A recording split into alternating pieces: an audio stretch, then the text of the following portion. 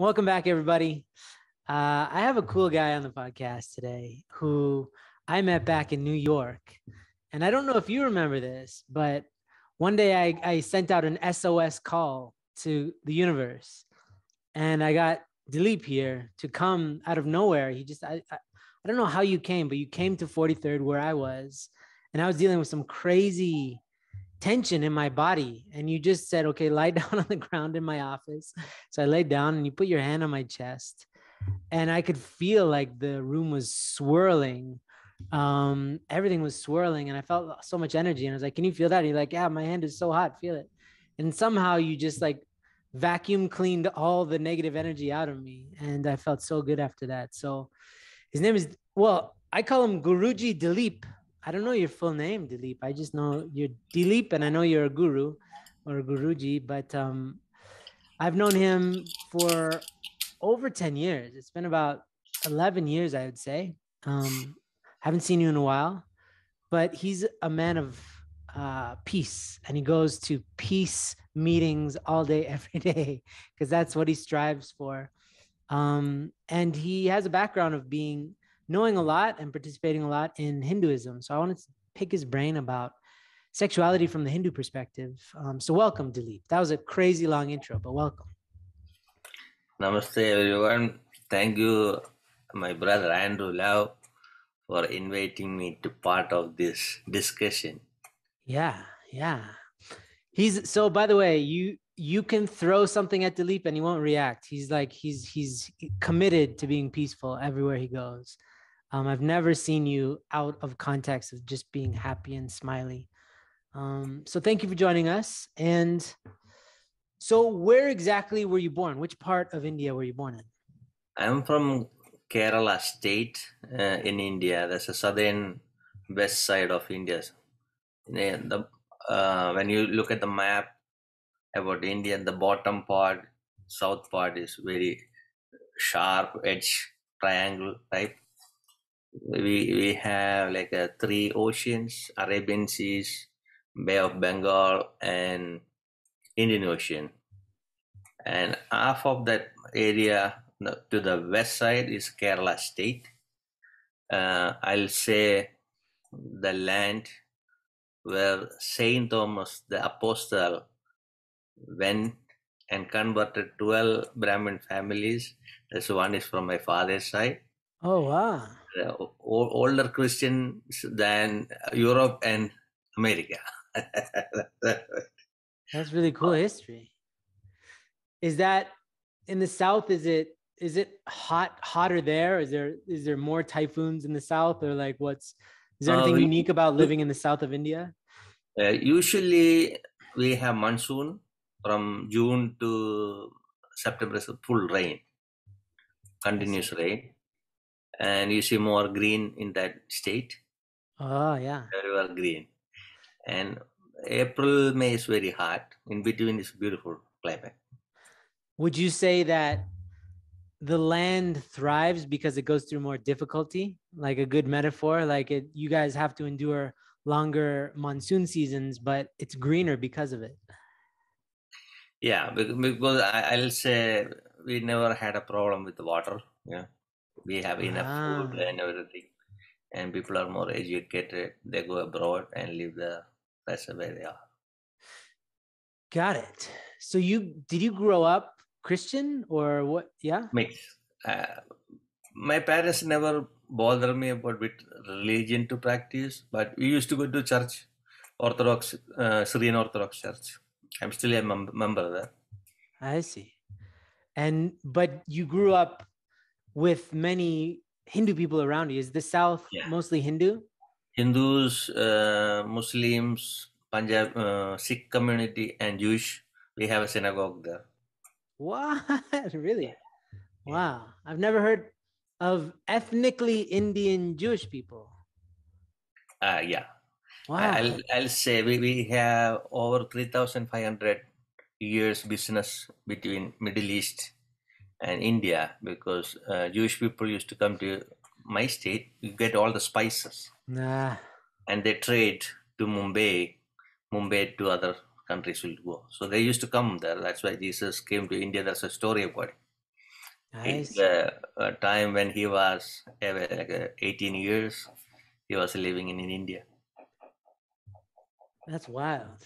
That's cool. I, I had no idea. I cannot picture an Indian Jewish man, but that's fantastic. I'm glad it exists.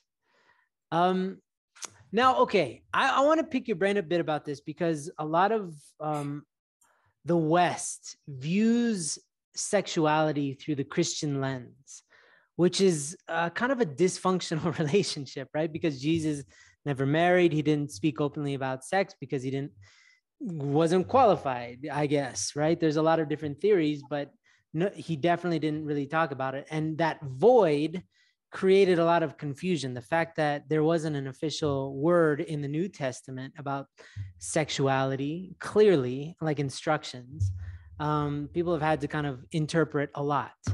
But I feel like, you know, Hinduism's far older and it also deals with sexuality more openly right? There's things about Tantra and things like that.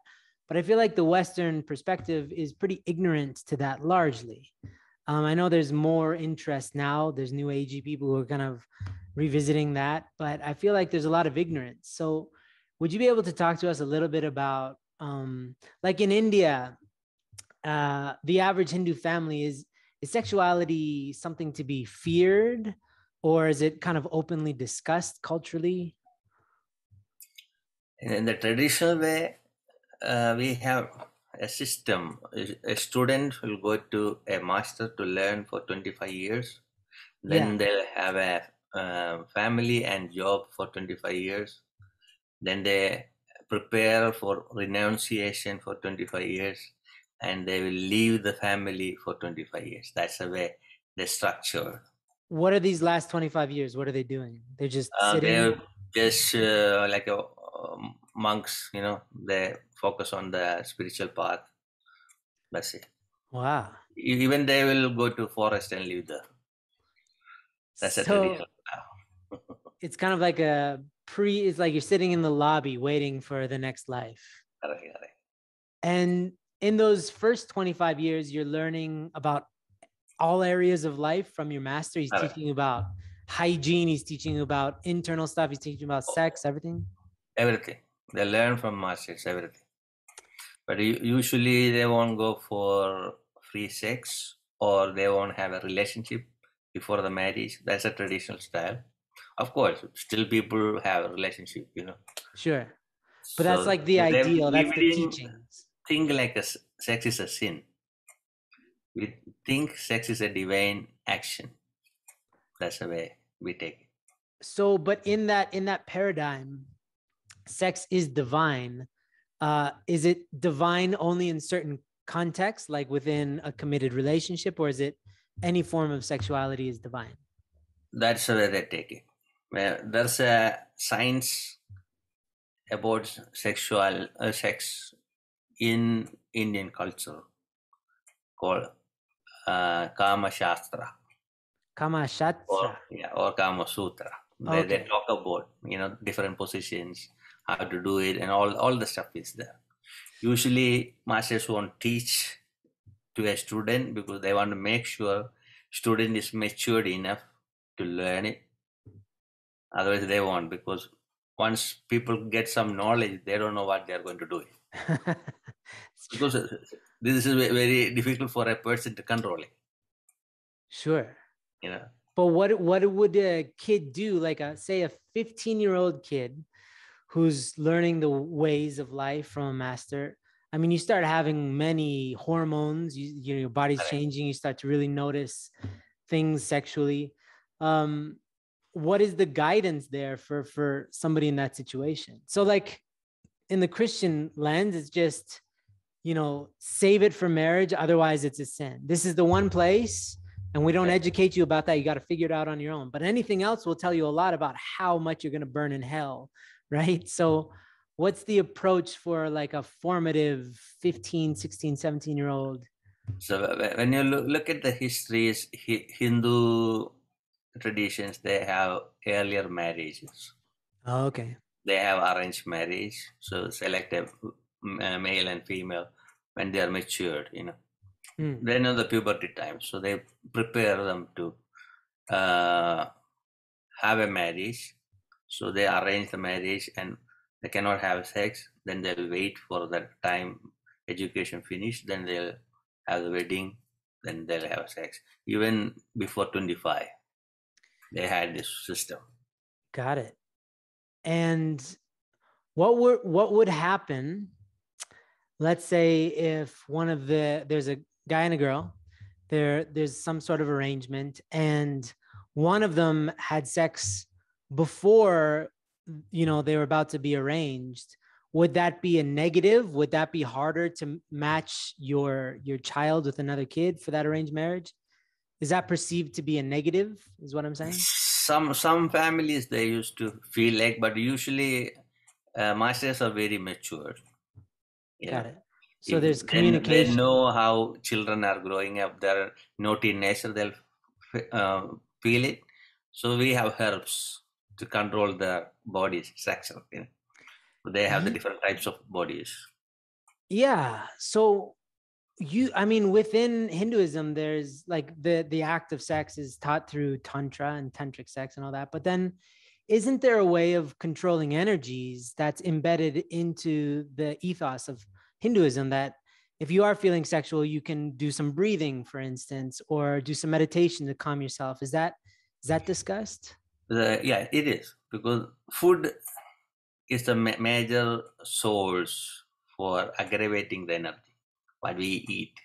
So usually they used to have more vegetarian food and less food, not like a five times a day eating meal. Is that to, to reduce your energy? so you don't have so much energy to, to spend thinking right. about sex. So when they eat a lot of meat and fish and egg, they have this aggressiveness in the body. So they cool down the body. So they have different herbs for the. Is that Ayurveda? The There's Ayurveda, naturopathy, Siddha, you know, like a different types are there. And so Ayurveda, because I remember you told me this once. You said don't drink hot drinks, and I was like, "What do you? What is this? What are you talking about? Right? Like, where? How'd you make that up?" But you were just talking about the type of body that I am, there's certain so what you're saying is that certain foods impact how you feel. And so in terms of being unmarried there's certain foods that you probably shouldn't eat because it might put you in a sexualized state. Correct. interesting. So what what do you think what type of food would cause somebody to be more sexually aroused? Is it like meat? Because you're saying vegetarian. Meat, meat uh, fish certain fruits also aggravate and fast, fasting is very important role in our system. Hmm. yeah. How often do you fast? Uh for usually i used to fast like one one week water for years. Now i eat one meal a day that's it. Ah so kind of like intermittent fasting. Wow.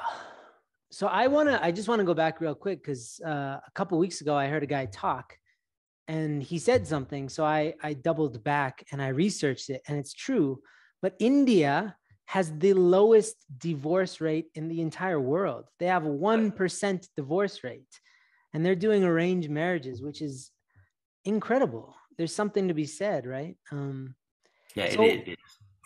how does how much is arranged marriage uh kind of like a a team project where the parents are working with the kids and how much is like still about like getting a dowry right? Like you're kind of like giving your daughter to somebody for some money kind of thing.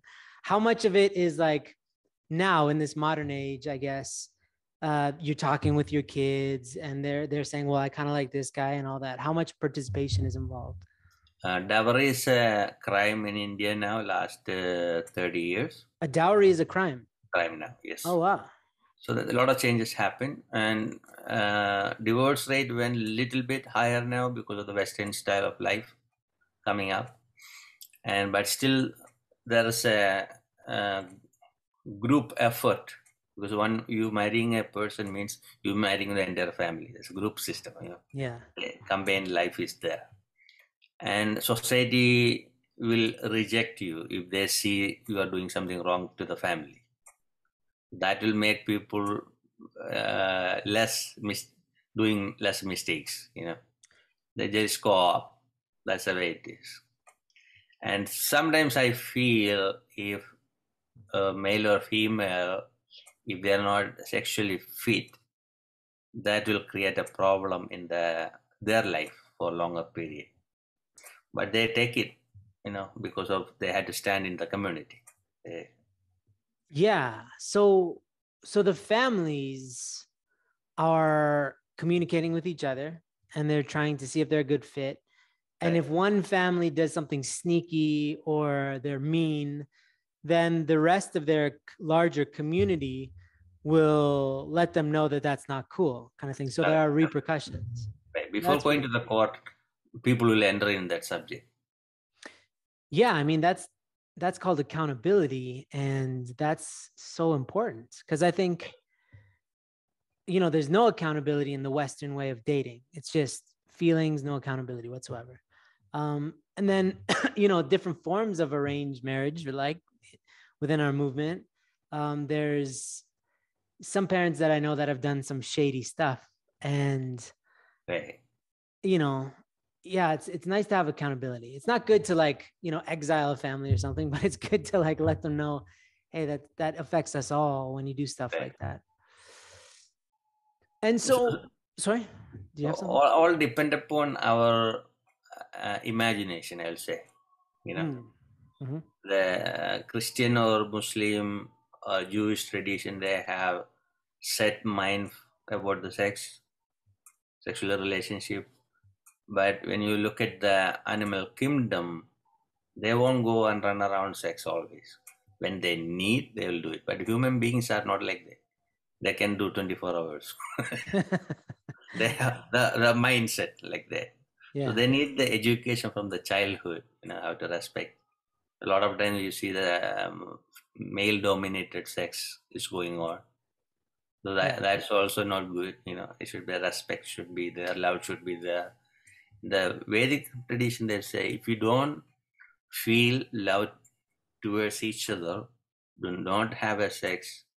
If you want to have a child, have a sex. That's the way they used to teach. so if you don't feel love for each other don't have sex does that mean even even if you're married but you're not feeling Correct. loving towards each other do not have sex first feel loving then have sex Correct. amazing yeah that That's means say divine. It is divine. Yeah, divine, because it's about spirit. It's about something higher than the body. How is there any discussion openly in the texts of Hinduism or formal formal teachings about masturbation and just having sex with yourself? Uh, usually those things they never talk about, but uh, my experience with the master, they talk about it. You The know, masters so talk. the, the energy or the hormone changes, children want to do it. You know, but that, that's a, that's a time the elders will know this happening, Yeah. so they will take care of them. You know, they talk with them. Now they know they are getting ready. That's the time they arrange the marriage. Their bodies are getting ready. Yeah.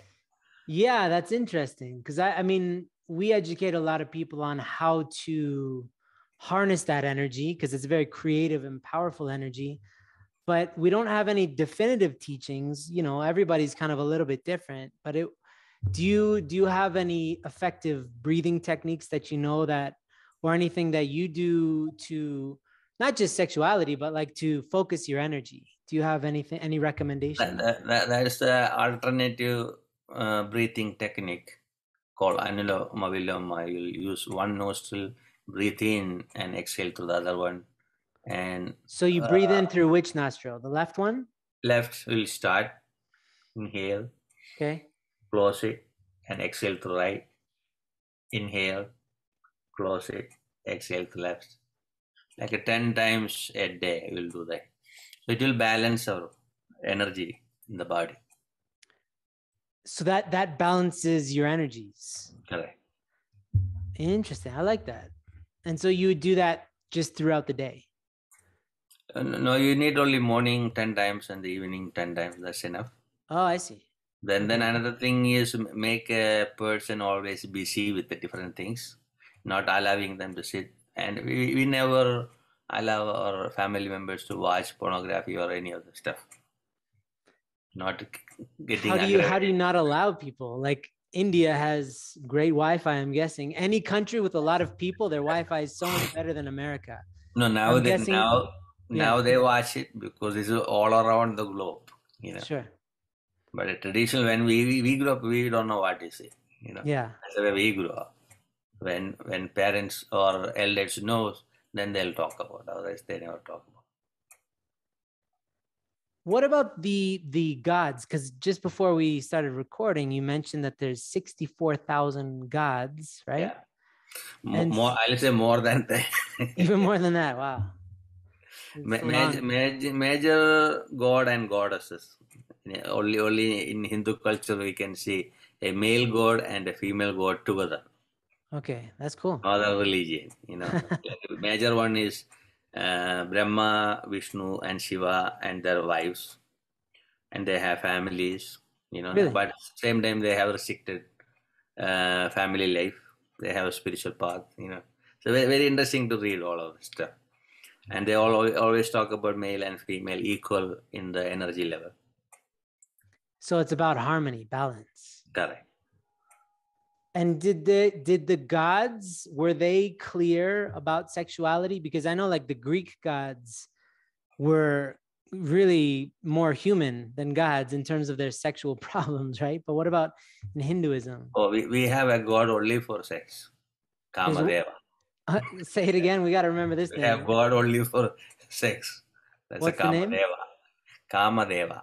Kama Deva. Deva. Right. And so that's where Kama Sutra comes from, is from this. Kama. So what does that name translate to? Do you know? Sexy pants? It's a Sanskrit, uh, from Sanskrit name. Okay. And is is that the full name or does Kama mean because Kama is Desire, also desire. Actually, desire. desire. Right. Okay. Deva means God. So all the teachings about sex are through the lens of this God. Right.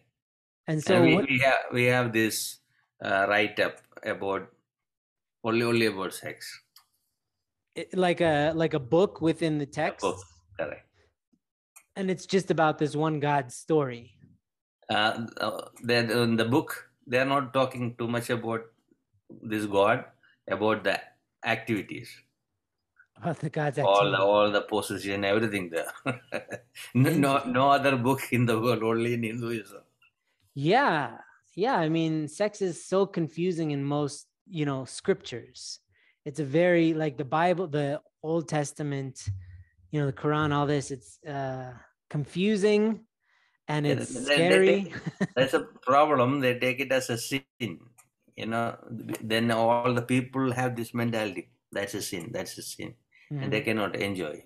You know, Yeah. rather than educate them, this is a divine action to have a procreation. You know, Yeah. it should be beautiful. And and the thing is, even in Ayurveda, they'll say, have a sex with your wife only once in a month.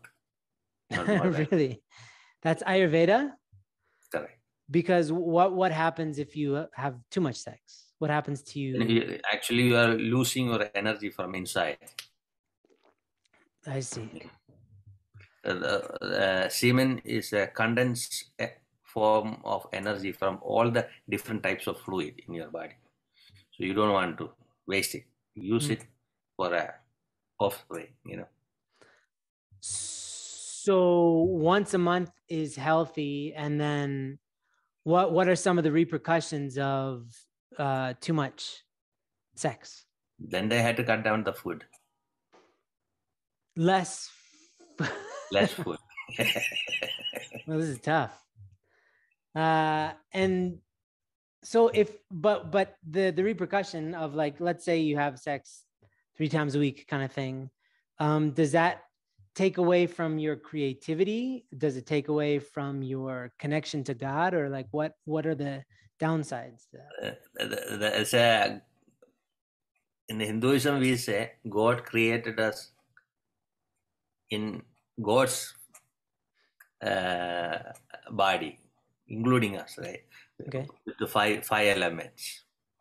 So you had to respect that body, uh, any actions in the body, and whatever you do, you have to celebrate that moment in your life. Even breathing, you have to, you know, take it as a divine action going on. You Sure. talk. That's a type of uh, constant meditation. You know, even sex is part of that. I like So when, you go to the deeper level of that mode, you are not going to feel it. Oh, I want to do 24 hours, you know. You enjoy it. You stay in that blissful state Mm. That's No, your I could see high that. end of spiritual where, where you do think about and do it, you know. I I can definitely see that. It it's just you you're more I guess present if it happens less because it's Correct. special.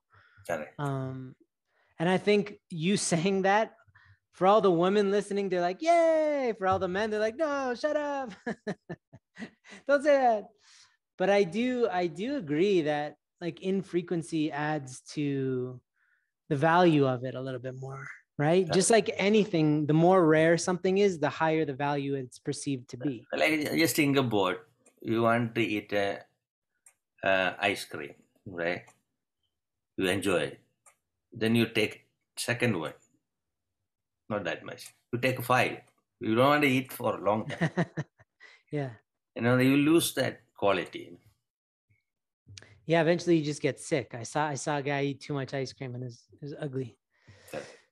No, I, I definitely hear you. And our, our culture is definitely oversexed. It's like they can't even stop, even though they're not enjoying it as much. Um, and there's definitely mental and spiritual and emotional repercussions. Correct. And I guess even physical, right? Physical, you're depleted of a certain power that you would have otherwise. Correct. I see.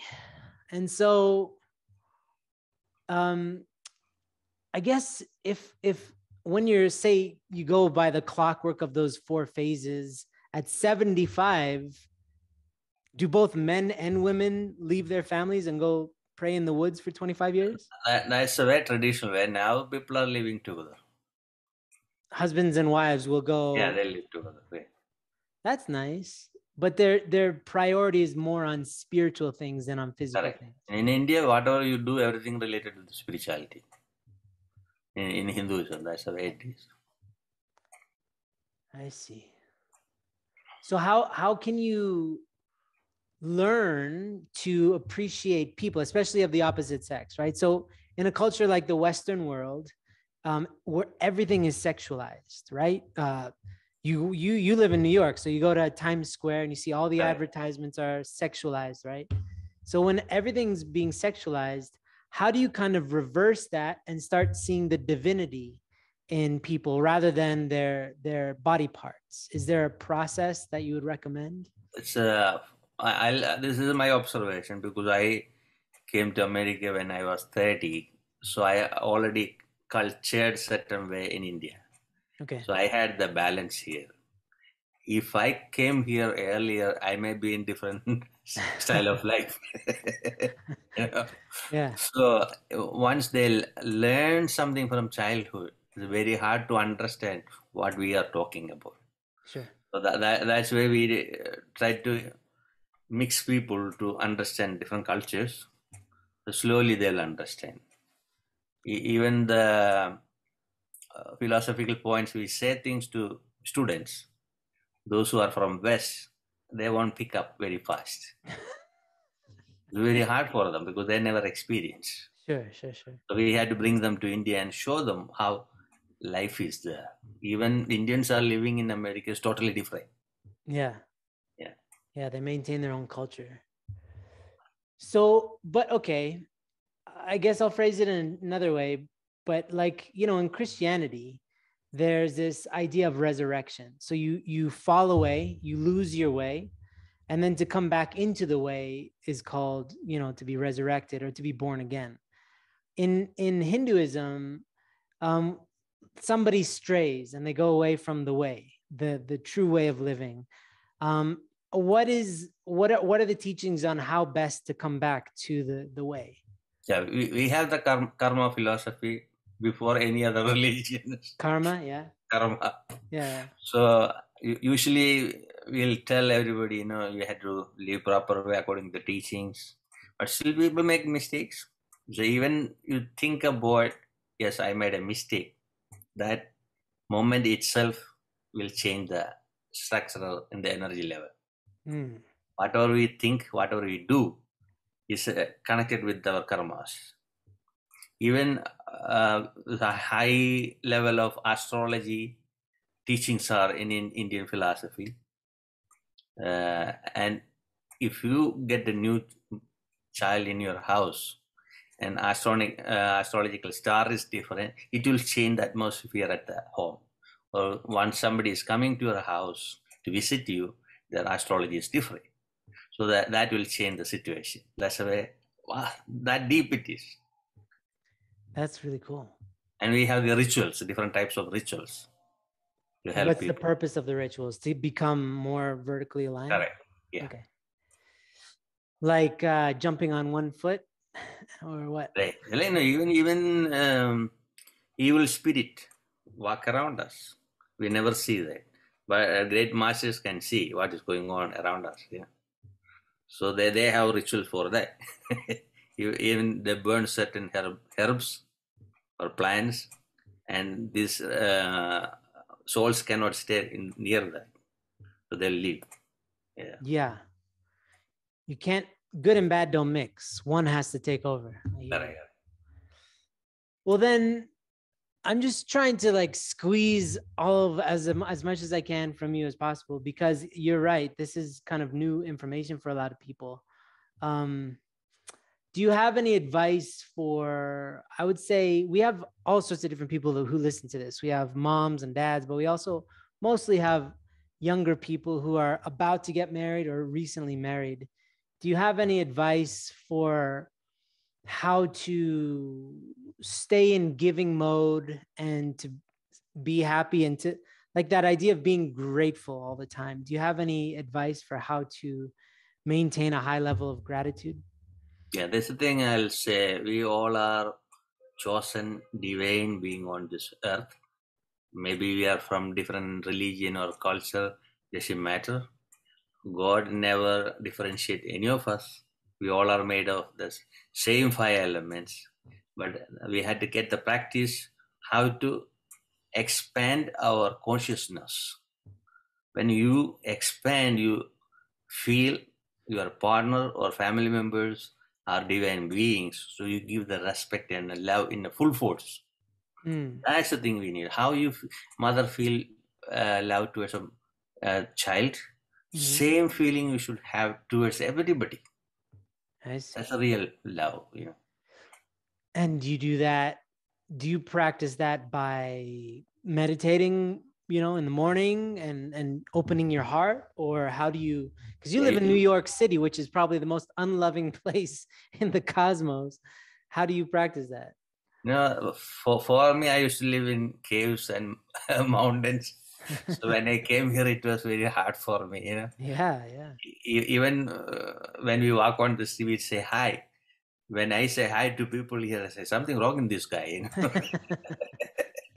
I know that's how we grew up. Then Yeah. slowly I learned it, and still I'll say hi to people, and slowly they became friends.